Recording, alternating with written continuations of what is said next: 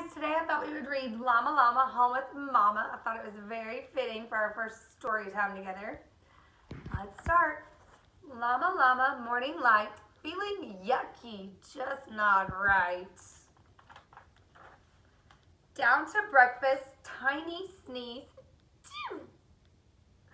Sniffle, snuffle, tissue please. Llama's head is feeling hot. Llama's throat is hurting lots. Achy fever, stuffy head. Llama, llama, back to bed. Time to rest, no school today. Mama llama brings a tray. Fruity medicine tastes yucky. Llama llama's throat feels gunky. Look around, not much to do. Trucks are boring, tractors too. Make a tunnel for a train. Mama llama, fuzzy brain. Mama llama gets a book. Have a listen, take a look. Heavy eyelids, drippy nose. Llama llama starts to doze. Up again and feeling better. Draw some pictures, make some letters. Wants a sandwich, please. Mama Llama starts to sneeze. Achoo! Lunch is over, time for toys. Mama's head does not like noise. Mama makes a big achoo!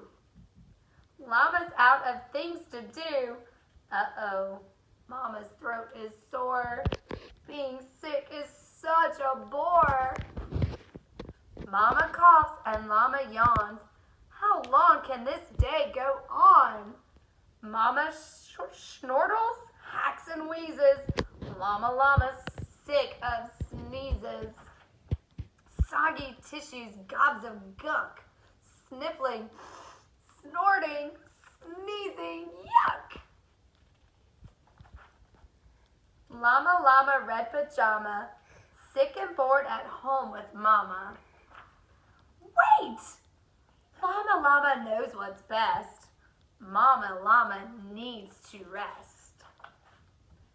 Get more tissues, bring a cup, fluff a comfy pillow up. What else could Mama Llama need? How about some books to read?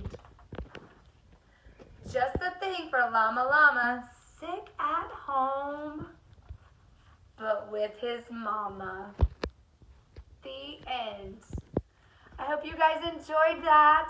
I'll talk to you later. Bye, guys.